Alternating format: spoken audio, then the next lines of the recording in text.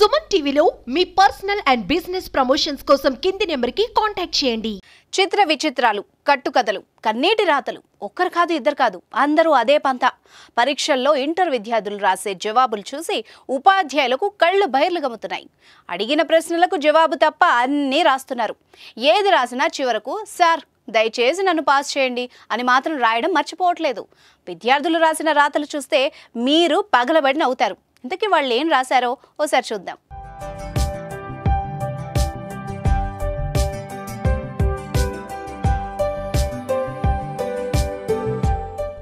ఏడాది మొత్తం మొత్తం కనబడని భయం విద్యార్థులకు పరీక్షల టైంలోనే కనిపిస్తుంది. ఎందుకంటే వాటిల్లో పాస్ అవ్వాలి. లేకపోతే ఇంట్లో ఏమంటారో అని గుబులు. బయట పరువు పోతుందని ఆందోళన. బాగా చదివిన వాళ్ళు పర్వాలేదు. కానీ ఏ మాత్రం చదవని వాళ్ళు పాస్ అవ్వడం కోసం తమ అస్త్రాలను బయటకు తీస్తారు.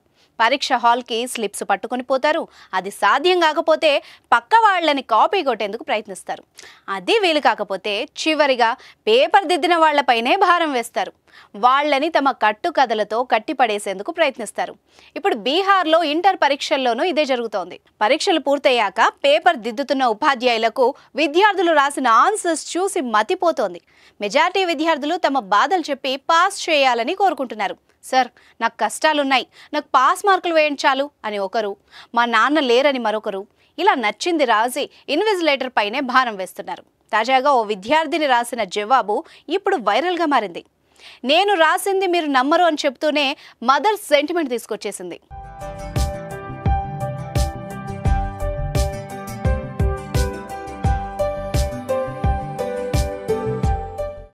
నమస్కారం మేడం లేదా సార్?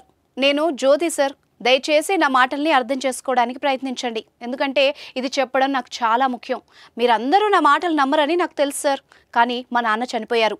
పది రోజుల ముందే ఇది జరిగింది. కానీ నేనేం చదువుకోలేదు. పైగా నా ఆరోగ్యం కూడా బాగోలేదు. దయచేసి నన్ను పాస్ చేయండి. ప్లీజ్ సార్ అంటూ తన బాధను చెప్పుకుంది. ఆమె జవాబు చూసి ఇన్విజిలేటర్లు అవాక్కయ్యారు.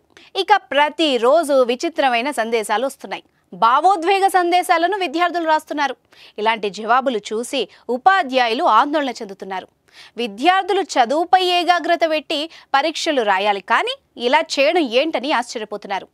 ఒక్క బీహార్లోనే కాదు చాలా చోట్ల ఇలాంటి విద్యార్థులు ఉంటారు ప్రశ్నలకు జవాబులు రానప్పుడు ఏదో ఒక సినిమా స్టోరీనో ఏదో ఒక కథనో రాస్తారు. మీరు ఎప్పుడైనా ఇలాంటివి రాశారా రాస్తే గనక సరదాగా ఒక కమెంట్ చేయండి.